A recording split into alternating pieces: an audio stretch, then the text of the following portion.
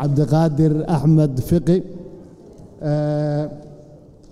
Haatanna waxaan soo dhowaynaynaa musharax ridwaan xirsi maxamed. Ridwaan xirsi maxamed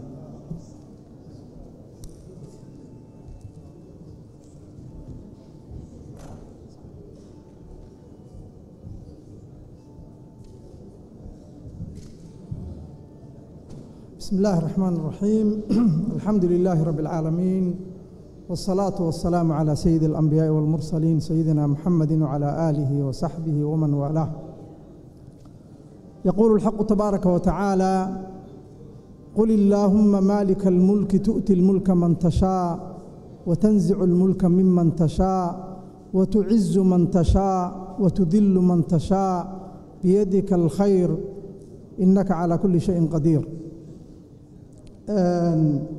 salaanta dabcan iyo guddoonka labada aqal iyo xildhibaanada iyo guddida doorashada ee qabanqaabada madaxweynaha iyo warbaahinta iyo dhammaan waan salaamayaa. Waxaan aayadda qur'aanka kariimka u akhriyey horta inaynu fahanno talada iyo mulkiga iyo maamulka ilaahay baa bixiya subxaanahu wa tacaala. Qofka meeshan madaxweynaha ka noqonaya maalinta ay bishu tahay shan iyo tobanka mey ilaahay agtiisa waa ka qoranyay subxaanahu wa tacaala. Isaga ayuunbaana bixiya. Sidaa darteed qofku waa inuu ku iimaan qabaa.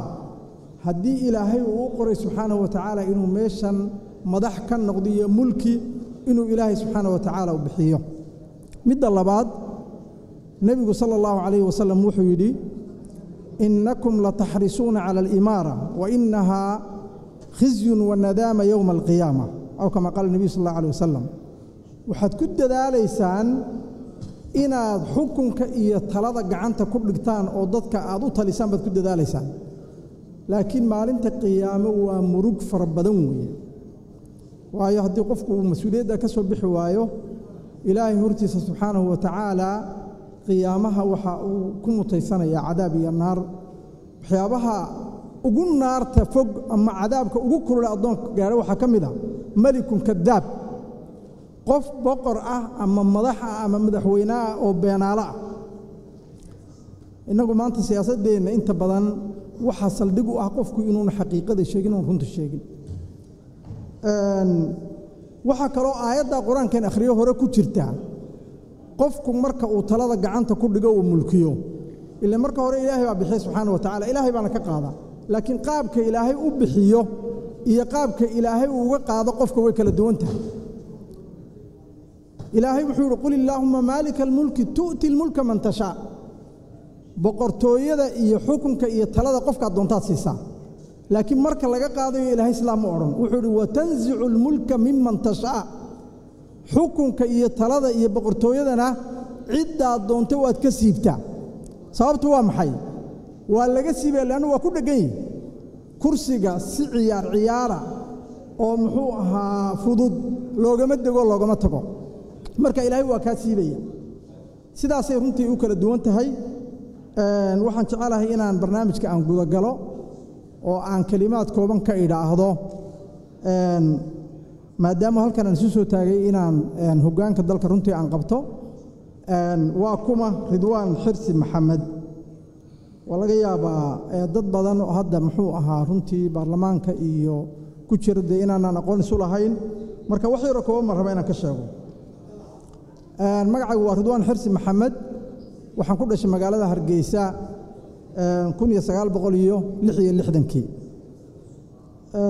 Waxbarashadana dabcan magaalada hargeysaan ku qaatay waxbarashadeeda hoose ee dugsiga hoose iyo dhexe iyo muxuu ahaa dugsiga sare. Intaba technical institute hargeysa jaamacadda ilaa iyo markaasi master digriga iyo b h d da runtii iyadana aan register gareeyey waxaan ku sameeyey dalka suudaan. Markii dambe waxaan macallin ka noqday sagaashankii ilaa labada kun iyo saddexdii waxaan macallin ka ahaa jaamacadaha yeman laba jaamacadooda yeman ayaan runtii macallin ka ahaa waxaana dhigi jiray af carabiga. Oo carabta lafteeda ayaan af carabiga aan u dhigi jiray labada kun iyo sagaalkii waxaan ku biray baarlamaanka soomaaliya. Ilaa labada kun iyo lix iyo tobankiina baarlamaanka ayaan ku jiray laakiin ka hor labada kun iyo saddexdii waxaan ku wareegay safaaradda soomaaliyeed ee sanca oo aan markii hore ka noqday la taliyaha arrimaha dhaqanka markii dambena la taliyaha arrimaha siyaasadda. Labada kun iyo afar iyo tobankii waxaan ka mid noqday golihii wasiirada wakhtigaas iyo anoo ka noqday ra'iisul wasaare ku-xigeen iyo wasiirka arrimaha diinta. Runtii intaas waa in kooban aan doonay inaan ka idhaahdo taarikh nololeedkayga oo kooban. Waxaa isweydiin leh buuggaa laga yaabaa inaad ka akhrin doontaan barnaamijkayga faahfaahsan laakiin waxay ahayd buugga ama wakhtiga ka hor in la qaybiyo ama kadib in la qaybiyo waayo waxaad ku mashquulaysaan inaad akhrisataan. Maadaama waxyaabaha ku qoran wakhtiguna saamaxaynin runtii inaan meeshan ka sheego waxaan jecelay inaan dul maro si aan wakhtiga u beekhaamiyo dabcan waxyaaba isku midaa laga hadlay. Waxyaabaha aad looga hadlay dastuurku waa ka mid laakiin anugu dastuurka waxaan aaminsanaya laba meelood baa cilladiisu iyo mushkiladiisu ay taagan tahay. Mid waxa weeye diboogidda dastuurka oo xukuumadihii hore oo dhammaan ay ku fashilmeen. Midna waa ku dhaqanka dastuurka.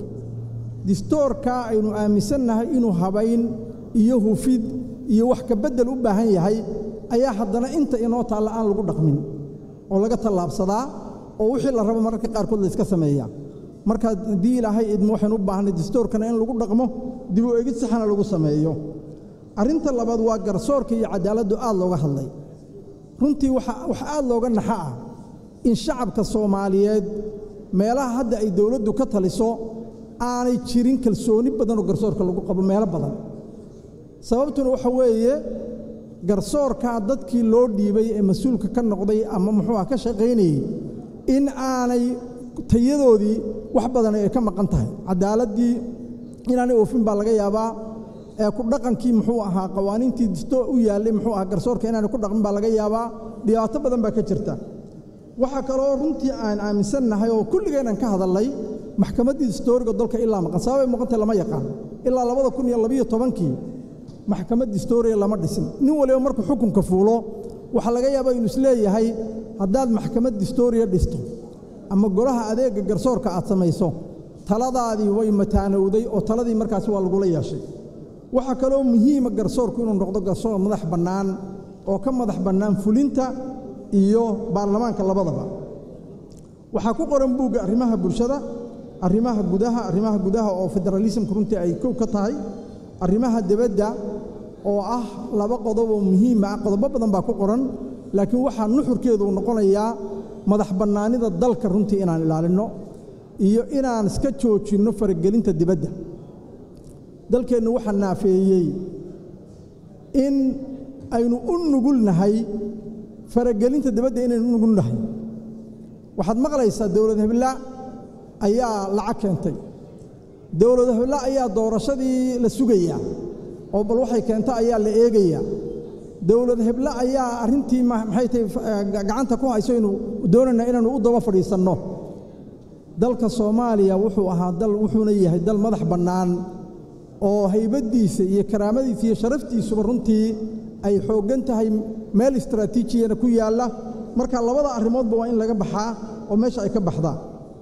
Arrimaha bulshada dabcan inaan ku celiyo ma rabo waxyaabihii murashaxiintu dhammaantood way sheegeen in wax laga qabto caafimaadka in wax laga qabto waxbarashada in wax laga qabto deegaanka in wax laga qabto muxuu ahaa horumarinta reer miyiga. Waxaasoo dhan meesha ayaad ku arki doontaan.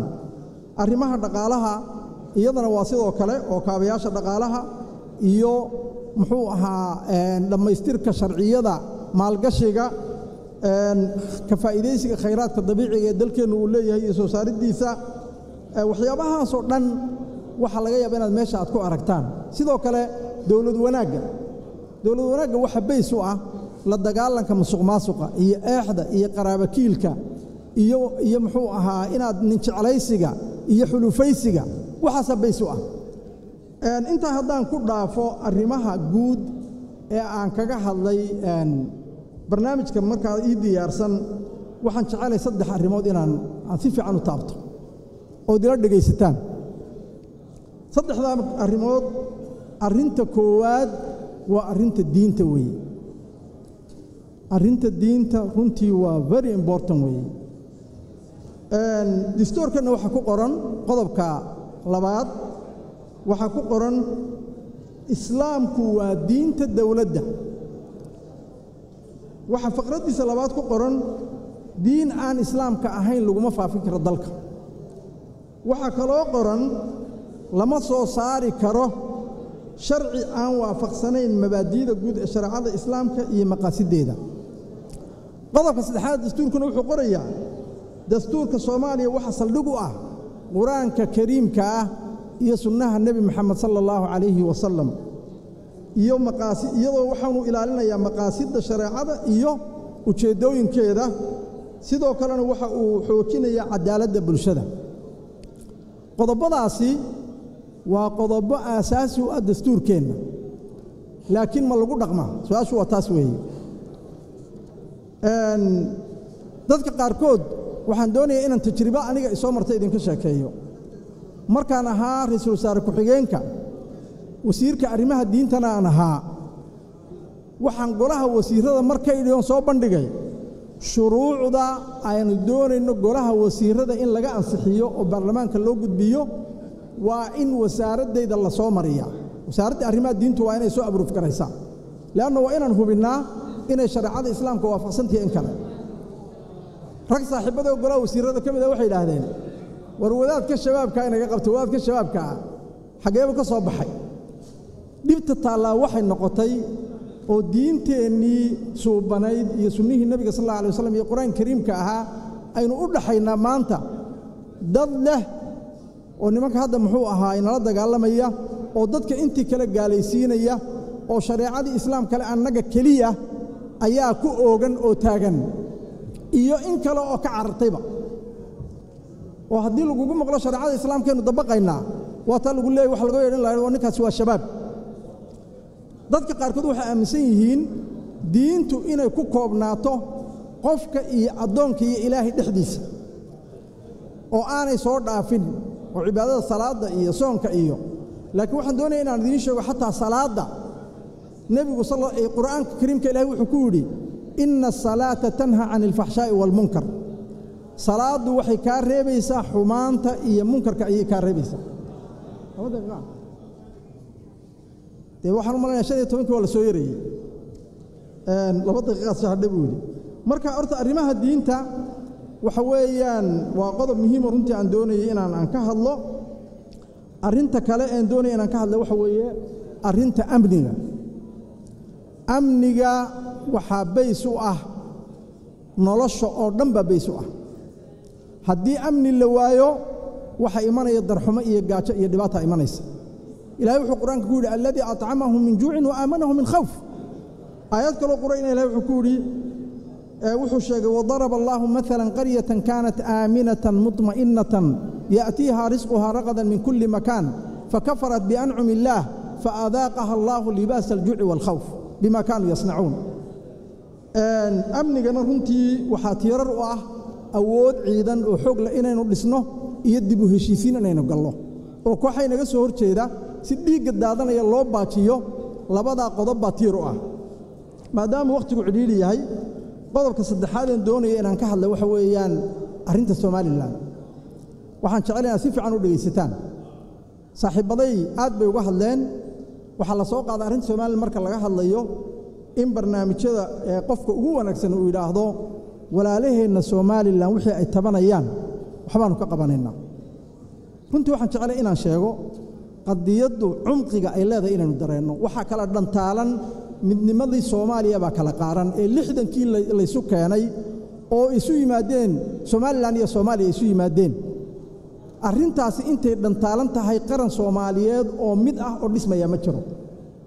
Sidaa darteed waxaan aaminsanahay sida loo adarays garaynaya looga hadlaya qadiyaddu inay ka duwan tahay. Qadiyad cod lagu raadiyanayana ma aha. Waxaa la wadahadal baa soomaaliya iyo somalilan u bilaabmay laakiin wadahadalkaasi halkee buu maraya. Waxaan anigu aaminsanahay wakhtigii uu bilaabmay ilaa maanta marna xildhibaan baan ahaa marna ra'iisul wasaare ku-xigeen baan ahaa wasiir baan ahaa. Somalilan arrinta wadahadallada siiriyas bay ka ahay waxa la mariyey golayaasha ay leeyihiin baarlamaankaa la mariyey guurtidaa la mariyey xukuumaddaa la mariyey xisbiyada qarankaa la mariyey laakiin halkan siriyas lagama ahayn day golaha wasiirrada lama keenin wadahadallada soomaaliya iyo somalilan oo lama adarays garayn baarlamaankana lama geenin oo lagama hadal.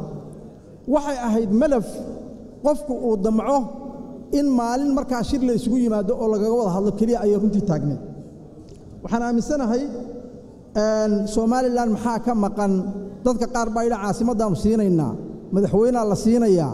Anigu waxaan aaminsanahay inaanay arrintu intaa ahayn ay ka xeel dheer tahay waxaanan qabaa haddaa halkan aan madaxweyne ka noqdo waa one minute igu dara ninkoo raalliga waxaan aaminsanahay haddii aan madaxweyne ka noqdo in aan furaha xalka qadiyaddaasi aan gacanta ku hayno oo barnaamij cad iyo qorshe cad runtii aan ka leenahay. Waxaan doonayaa waan soo gabagabaynaya may one minute one minute idinkoo raalliga waan dhammaynaya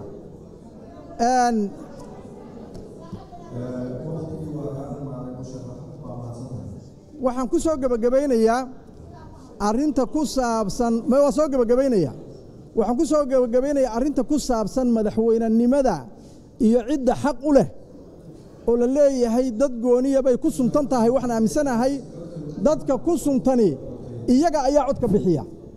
Waxaan aaminsanahay codkiinna inaadna siisaan oo aan madaxweyne ku noqonno oo aynu ku jabinno sistamka maxay tahay qoriisu dhiibka ah inaynu ku jabinno ayaan runtii aaminsanahay. Waa mahadsantiin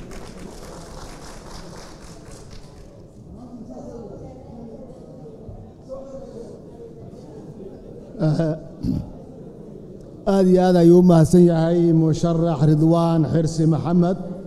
Haatanna waxaan soo dhowaynaynaa musharax saciid ciise maxamuud musharax saciid ciise maxamuud